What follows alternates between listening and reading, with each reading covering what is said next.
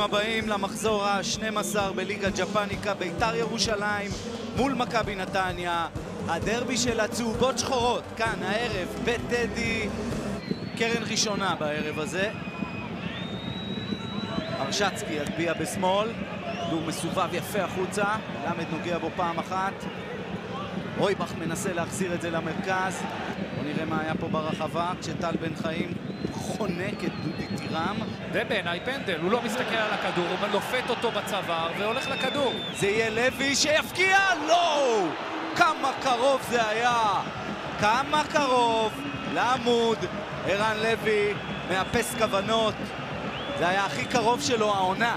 לפינה של עמוס, אבל עמוס, שיש לך בועט כמו ערן לוי ובוזגלו שמתכוננים, עכשיו לברשצקי, יש לו שטח ויש לו גם הזדמנות למסור את הכדור, אבל הוא מעדיף לבעוט לא בזמן, ומכבי נתניה מפספסת כאן הזדמנות נדירה. עלי מוחמד, ברשצקי, זה כדור טוב למלאדה שנכנס לרחבה, זה יכול להיות גם שער! איתמר ניצן מונע את זה ממנו. והפעם ברשצקי עושה את הפעולה הנכונה.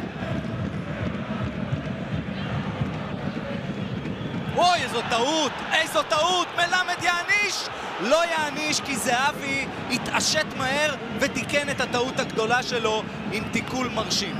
איזו סגירה גדולה אחרי הטעות. אלעד מרים ראש.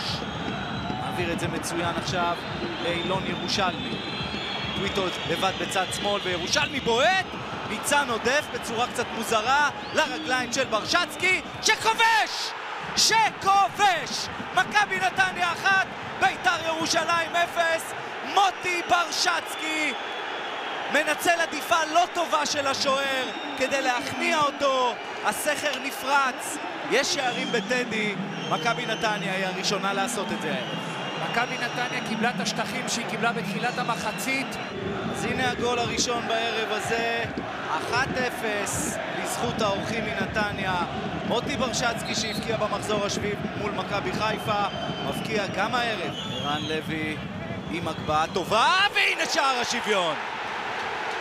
דן איינבינדר מכניע את דני עמוס ומדליק את טדי לכמה דקות שנותרו.